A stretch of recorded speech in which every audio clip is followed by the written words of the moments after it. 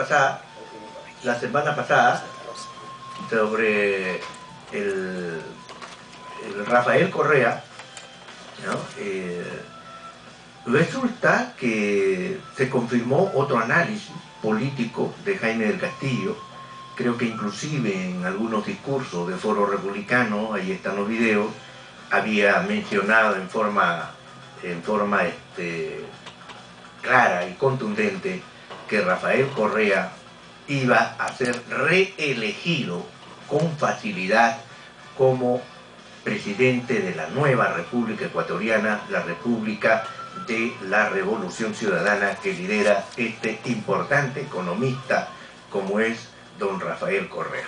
Se confirmó entonces otro análisis político de Jaime del Castillo y el señor Rafael Correa ganó en primera vuelta con suma facilidad.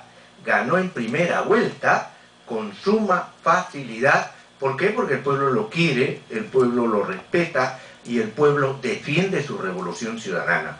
Los ecuatorianos son conscientes que el señor Rafael Correa viene eh, aplicando todos los parámetros pertinentes a una nueva república. Lo de Rafael Correa es una nueva república y prácticamente está en la misma viara o en la misma dirección de lo que propone eh, Foro Republicano cuando nosotros planteamos novedosamente en el país eh, los conceptos y los marcos eh, teóricos de la Segunda República. Aquí en Hildebrand en sus 13 hemos encontrado en la página 32 de la última edición un trabajo de David Roca Basadre, con el cual en Facebook nos encontramos casi a diario, eh, ha titulado su trabajo Correa y la izquierda conservadora. Me permito discrepar con David Roca Basadre, toda vez que eh, no hay izquierda conservadora ni hay izquierda revolucionaria o incendiaria. Lo que sucede es que los conceptos de derecha y de izquierda han perdido su contenido, han perdido su esencia y estamos en un nuevo rediseño de la concepción de la política. Entonces, por ejemplo, Jaime del Castillo lo ha mencionado muchas veces en el sentido de que mi tendencia, eh, mi propensión es hacia la izquierda, pero todos mis radioyentes que me escuchan desde hace años saben que no tengo simpatía por ningún partido de izquierda en el Perú. Absolutamente, por ninguno. Pero en foro republicano, nosotros hemos establecido que no somos ni de derecha ni de izquierda. ¿Por qué razón? Por una razón de peso, una razón de oro, una razón fundamental y gravitante. En foro republicano no somos ni de derecha ni de izquierda. ¿Por qué? Porque nosotros respetamos la soberanía nacional como un todo.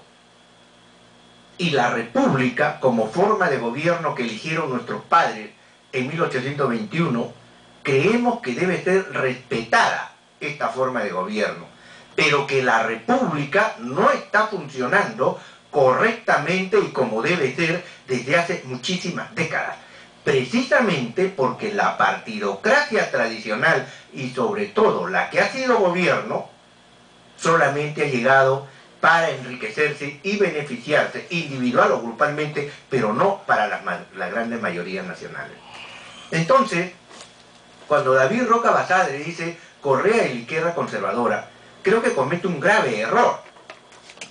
Porque la verdad de las cosas que la izquierda y la derecha han la palabra de Julio Kotler, que ha criticado ayer con muy quisquilloso mi promoción y analista político que ustedes conocen, Víctor Andrés Ponce, ayer se presentó en el programa de Jaime de Altau eh, en la noche, y decía que no puedo decir la palabra de Julio Kotler, y, Jaime de Altau lo obligó a decir, ¿cuál era esa palabra fuerte? Julio Kotler había dicho que la revocatoria eh, implica que la política se ha emputecido en el Perú.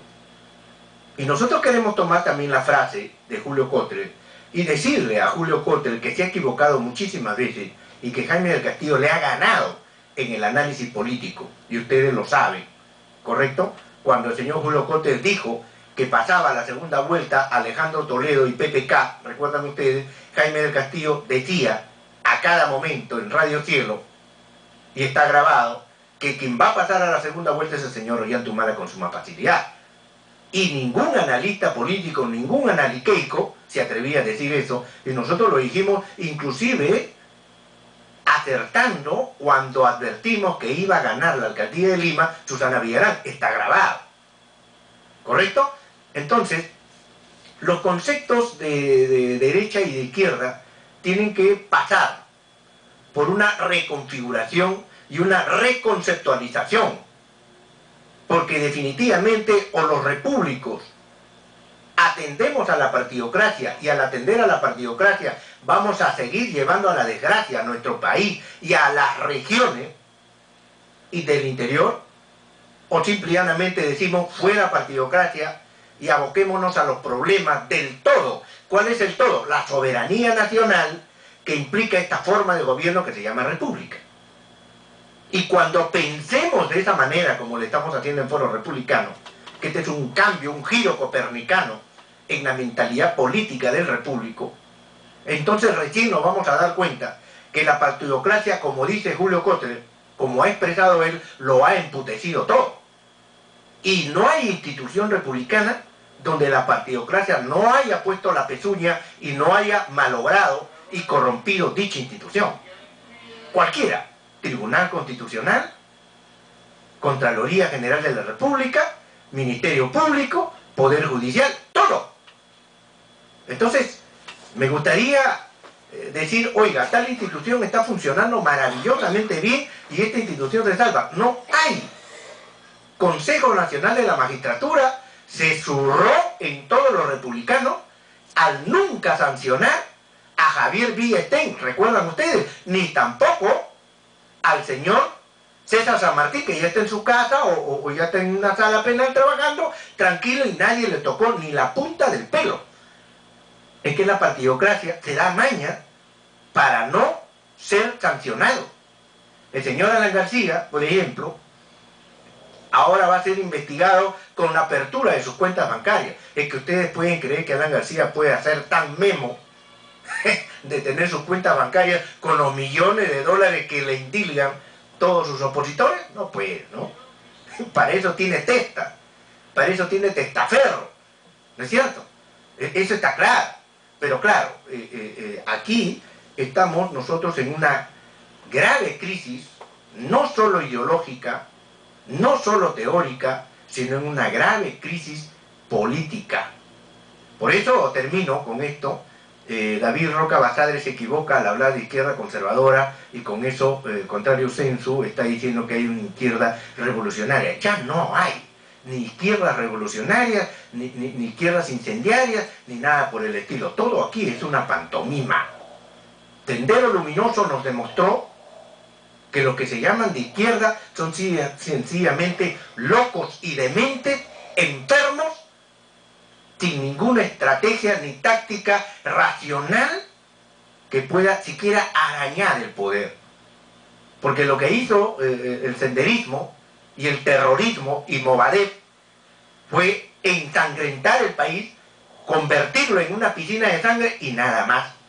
No tuvieron ni la más mínima opción ni la más mínima opción de poder. No tuvieron una sola zona liberada, solamente nos destruyeron. Y la otra izquierda, la prima hermana, la de Javier Descanseco, la de Susana Villarán, la de, la de Tierra y Libertad, la de Patria Roja, todos ellos le hacían el juego al terrorismo y le siguen haciendo el juego.